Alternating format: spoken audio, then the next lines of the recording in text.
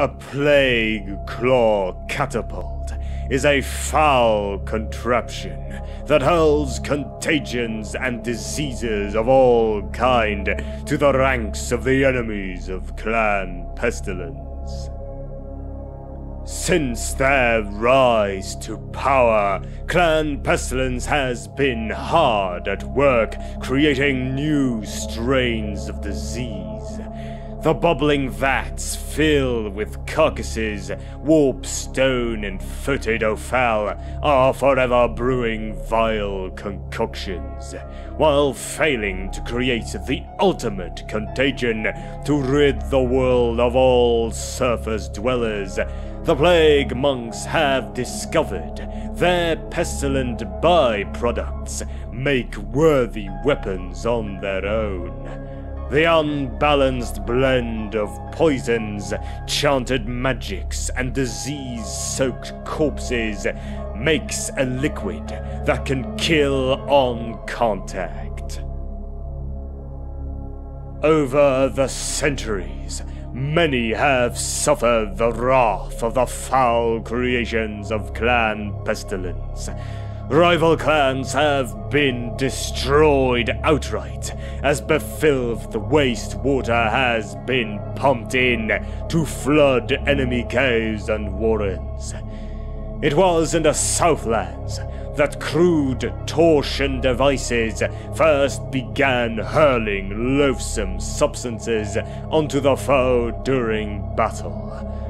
The Plague Monks learned to deliver their pestilent payloads via catapult, the erupting splatter of deadly content slaying targets in a toxic storm. Those splashed by the semi-congealed liquid find their skin simultaneously sloughing off in ruin and elsewhere erupting in glistening sores. Armor offers no protection against such loathsome weaponry. After the reconciliation following the Second Civil War, Clan Pestilens received technical help from the warlock engineers of Clan Skryre. Soon, the crude war engines built by the Plague Monks were replaced with what are now known as the Plague Claw Catapults. These loathsome war machines are great wheeled scaffold towers bearing adorned with pennants and runes, mounting torsion powered arms. Pushed into position by ragged clan pestilens acolytes, the claw like arm of a plague claw catapult is winched back and unleashed to lob hideous death a putrid mixture of disease-soaked corpses, semi-congealed poisons, and even traces of warpstone.